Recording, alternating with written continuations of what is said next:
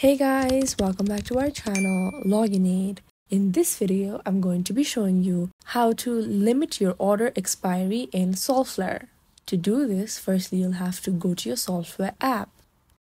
Once you open the app, you'll be in the main wallet page. Now, to limit your order expiry, you'll have to go to swap.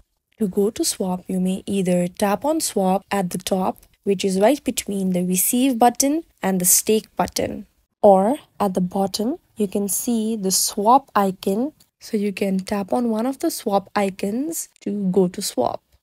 Once you tap on an icon then you'll be taken to swap. Now here to limit your order expiry you may tap on the icon at the top right corner. Once you tap on that right below swap slippage tolerance you can see limit order expiry option here, you can see your limit order expiry has been set to never. That means your order will never expire. Now, to limit that, you'll have to tap on never.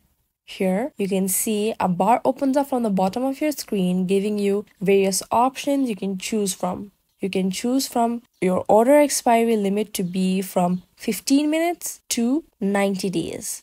So you can choose one of the options that you would like your order expiry to be limited to. Once you choose one of the options, the bar goes down and the save button appears.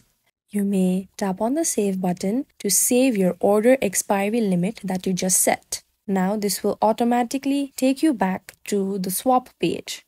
Now to check your order expiry limit has changed or not, you can go back to the top right corner from your swap page, tap on the icon. Under limit order expiry, you can see that your order expiry limit or duration has been changed. This is how you can simply change your order expiry limit in Solflare. If you find this video helpful, like, share and subscribe and do not forget to leave a comment down below. Thanks for watching.